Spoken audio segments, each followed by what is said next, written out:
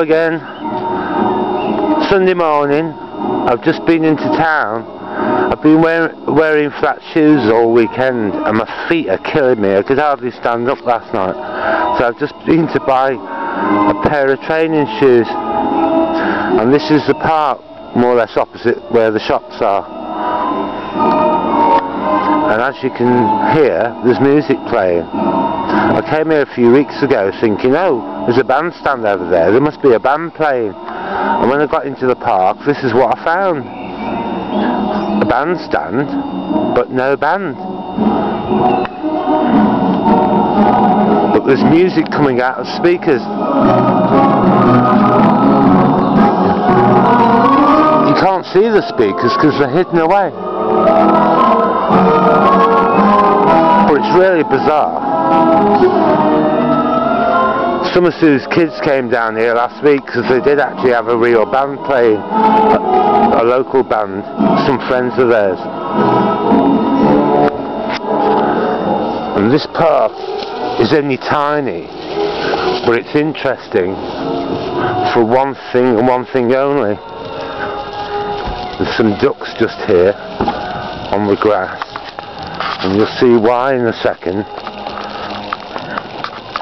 this hill was a castle in days gone by. It was a Motte and Bailey castle.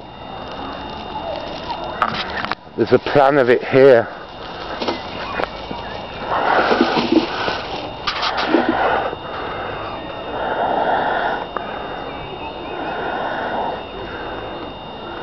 It, it explains all the works and how it would have looked.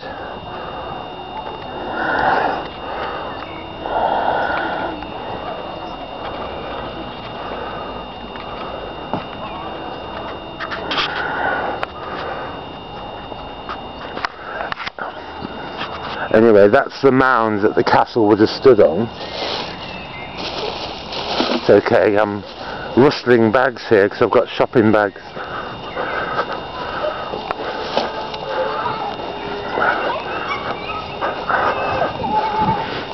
What used to be the moat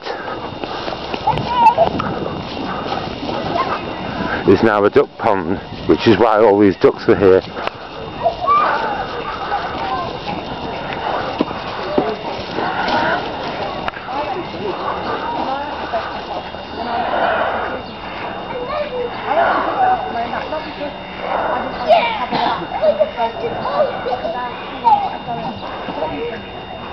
all the kids come here to feed the ducks. Right, I'll go up the, the bank to the top.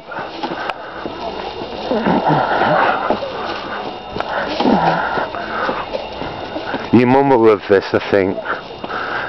Being interested in old buildings. Obviously the castle's not here anymore. It came down a long time ago.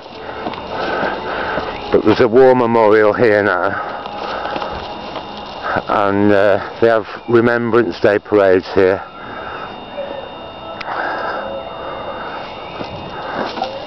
This site has never been excavated.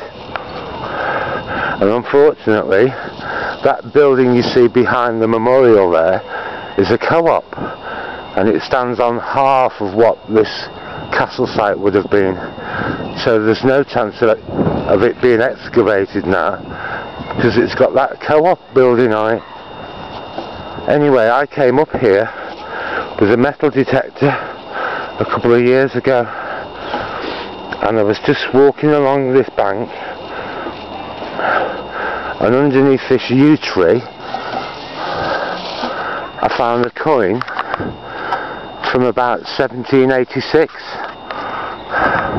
and when I looked at it it turned out to be a halfpenny token from a mine in Anglesey, a copper mine. And this coin was called a, a Parys halfpenny token. Uh, and it belonged to the mining company and they paid their workers in their own tokens so they'd have to spend the money in their own shops. And the link to Hinckley here is there's a road, the old Roman road, the A5 Watling Street, runs through Hinckley and it goes all the way to Anglesey. And on the edge of this coin it said payable in Anglesey, London and Liverpool.